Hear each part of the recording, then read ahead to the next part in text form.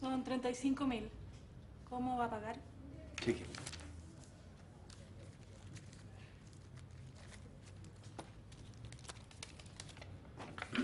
¿Me prestas un lápiz?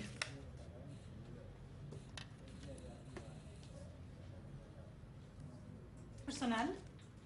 ¿Mm? Mm, el cheque. Ah, no, no. Es de otra persona. Pero me lo pasó. O sea, no, no me